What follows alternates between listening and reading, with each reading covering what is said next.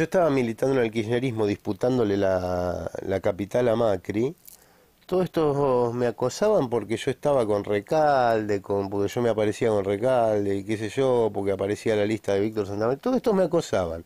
Después metieron en la lista un candidato de ellos en una y los otros amigos de ellos aparecían en las listas del FIT.